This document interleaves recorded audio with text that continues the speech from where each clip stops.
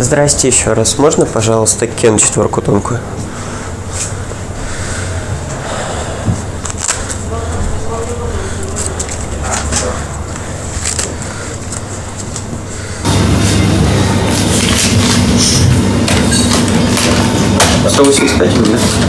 Продажа алкогольной и табачной продукции несовершеннолетним – то, с чем регулярно сталкиваются стражи правопорядка. У нас сейчас проводится операция «Торговый табак». В рамках этой операции был- была осуществлена а, закупка табачной продукции несовершеннолетним. А, можно паспорт ваш? Сейчас будем устанавливать э, все детали.